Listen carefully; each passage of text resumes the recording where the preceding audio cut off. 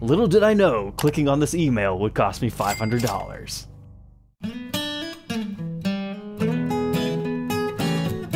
Welcome back, Troglodytes, to your daily dose of guitar information, the Trogly's Guitar Show. I've got kind of an interesting unboxing segment for you guys today. A couple of small things, one thing that cost me a whole bunch of money that's not guitar related necessarily, and two instruments that we can check out. But let's start with this.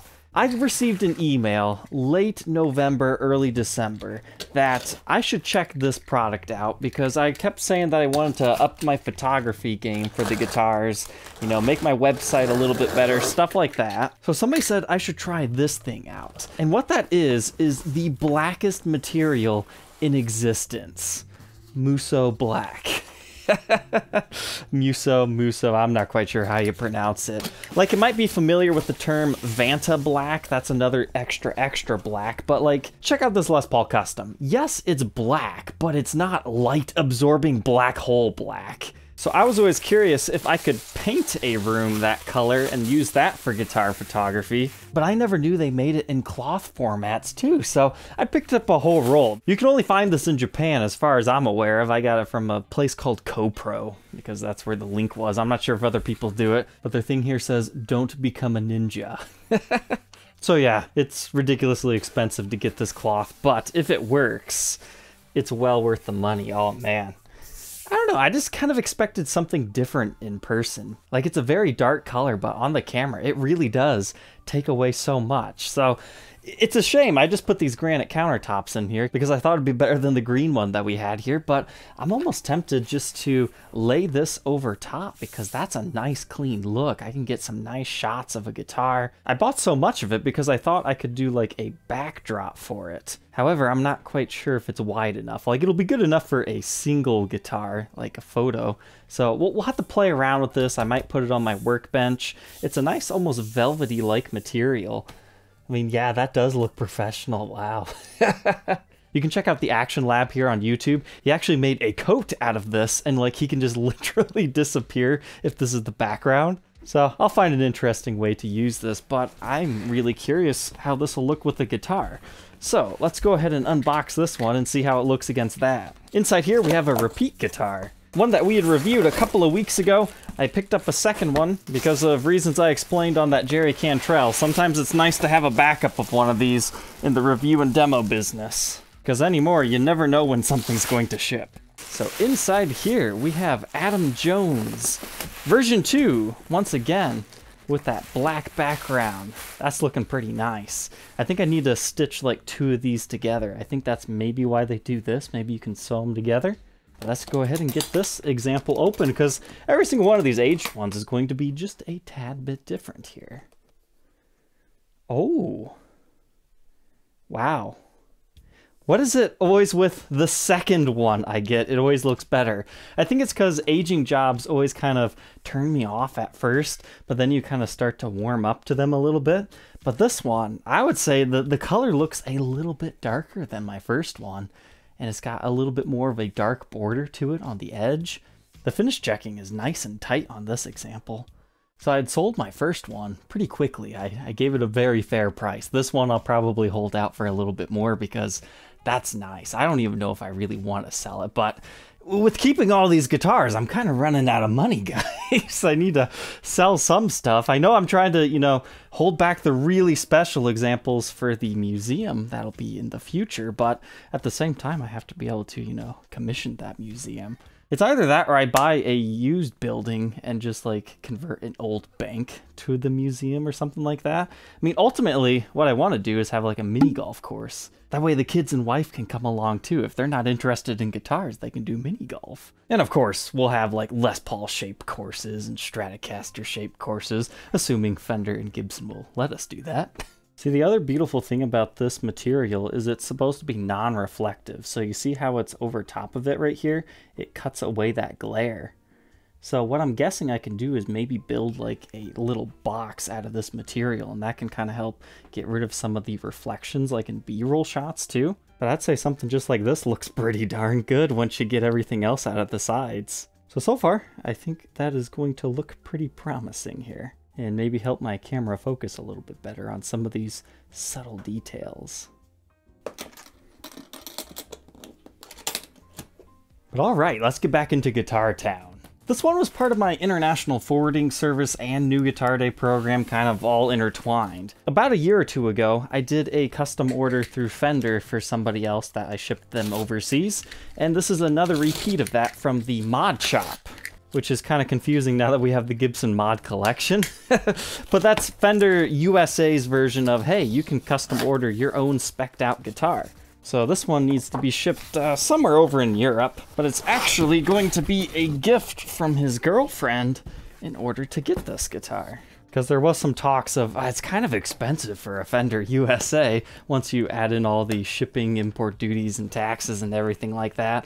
But since it's a special occasion, she greenlit the whole project here. So let's see what Mod Shop Stratocaster we've got going on. Ooh, that's pretty nice. So is it Shoreline Gold? Is that what it's called? Aztec Gold. Okay, Mystic Aztec Gold on top of that. Let's take a look at this puppy. That is very smart. I don't think I've ever seen a gold Stratocaster be this beautiful. I mean, that is nice. Like, there's gold top on Les Pauls, but this has like almost a little bit more silver within it. And the fact that he went with the gold hardware on top of that, it's just not something that you see every day on a Stratocaster. No wonder this thing is so blingy. So other than that, we have a rosewood fretboard on here, gold tuners, standard stuff here with your truss rod adjustment up there. Pure white pick guard. Flipping over to the back, we get our gold mod shop neck plate that's looking pretty cool. And what's kind of interesting here is the serial number is 2021. But if you know anything about the mod shop, if you try to order one of these in December, they don't actually start building it until after they get back after New Year's. So even though we placed this order like December 1st, it took them three months to do instead of the normal one month. But that's strange that they didn't say they started to build this until that time. So the saying goes, as long as they have it in stock, you can have whatever you want, right? That's kind of what the mod shop is. So this must be a slightly older 2021 neck that they had in their shelves, and then maybe they just do the custom bodies of whatever people order them. But I'm definitely a fan of this finish. That is nice. And it's been a while since I've had a Fender, but it feels like the interior of the Fender cases have changed. Okay, made in Vietnam now. So these used to be made in China. This part feels about the same. They still have the bumpers and all that. But this in here, it's no longer I guess you could say styrofoamy feeling. Like it's a styrofoam insert in here, and then they just had like a, a cloth material. But this, I like it. It's a little bit softer, so Fender. Like these new cases much better than the other ones. They feel like they would uh, protect the finish a little bit more too.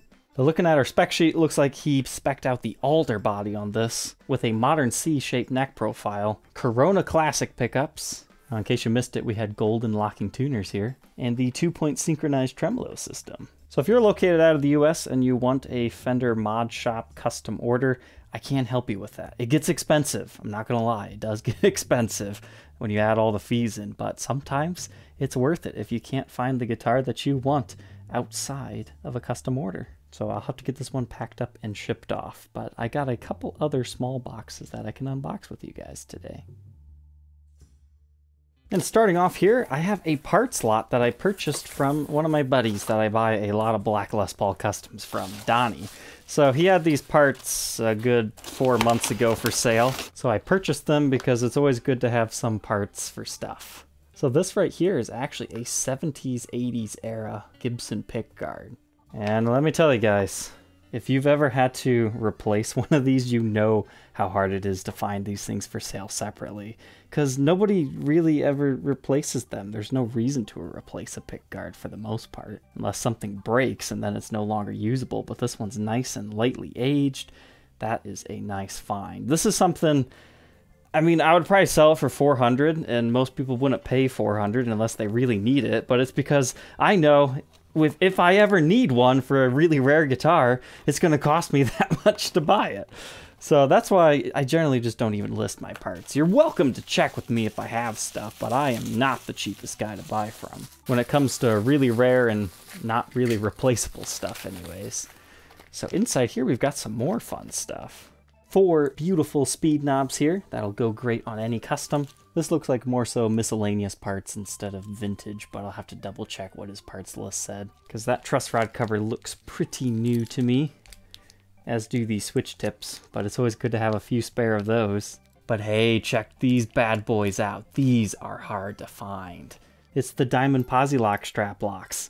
Remember how I tell you guys the Adam Jones ones didn't quite get it right because they don't have the gripping teeth? That's how you can tell these are vintage originals. So that's one set, two set, two and a half sets. So if you need a set of these bad boys, you can let me know. Or if you need a spare, I don't know, I might have a different spare one that this could make a set all of a sudden. But these are not cheap either. They're about $250 a set when I sell them which might seem crazy to pay for strap buttons, but it's a shortly lived Gibson part. Now lastly, let's check out what's in here. We get a bridge off of a Les Paul Custom. Now if I remember correctly, it's not too bad. I know one of these is collapsed, but this one's not too bad. Most vintage ones will have some sort of a, a collapsedness to it. You, you can bend some of them back, other ones it's just for restoring stock. And hey, what do you know? I do have a TP6 tailpiece in chrome. I just bought it, so I don't need to buy one. I can put this on my Artisan right away. Although I might swap it out for slightly nicer condition fine tuners. Oh, never mind. I've got one right here in almost perfect shape. Yeah, should have opened this box a couple of weeks ago. Man, that's so clean I almost think it's a reissue, but it's not. The fonts are right. Very cool awesome little parts haul right here of vintage stuff. I don't necessarily buy these vintage parts as much anymore, but it's always good to have them in case you need them. Next up, let's see what we have in this X Shutterfly box. Feels like we might have something good.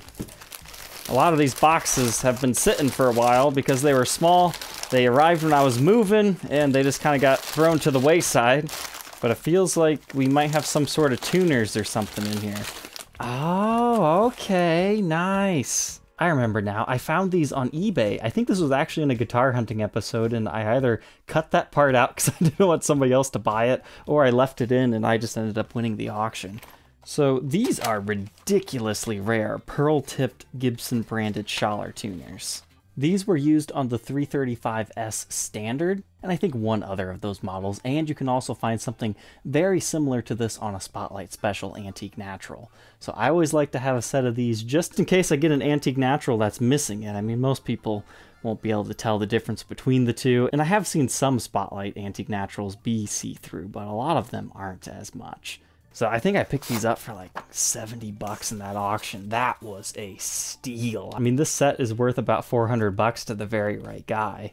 Now, general ones, they're worth about 225 a set or so. But I am very happy with that purchase. One day I might need those. So into the parts drawer that goes. it might seem crazy to have a parts drawer, but again, you never know when you're going to need this stuff. And I think it'd be fun in like my museum just to have a little parts accessory, like, you know, have a write-up about the TP6 tailpiece, the top adjust bridge versus the regular bridge. I also want a board that has every single limited edition truss rod to screw to it, like be a headhunter. Like, I think I have a Les Paul Artist one. I know I've got an LP Firebrand. I used to have a 2550 anniversary. So sometimes those things come up for sale. I don't take them off the guitars, but sometimes other people do. Now inside here, I think is a very generous gift from a viewer of the show who saw I needed this and they had it on Craigslist or their local buy trade sell and nobody was biting. So this right here is a supposed to be a very nice little Dremel kit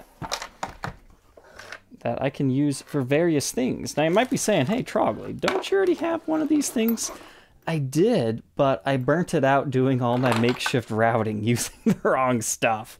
So it's great to have a functional one again, because I think I would like to use this on a really low setting for polishing the frets now that I figured out the other stuff. And of course, getting out strip screws. Hopefully there's a little bit in here that might help me like that. So thank you very much for this generous gift. I hope to make some good use out of it and maybe cause some more mischief. Like I I get in trouble with things like this, right? All right, troglodytes, I hope you enjoyed tonight's episode. Don't forget to like, comment, and subscribe, and we will catch you tomorrow on the next one. Take care.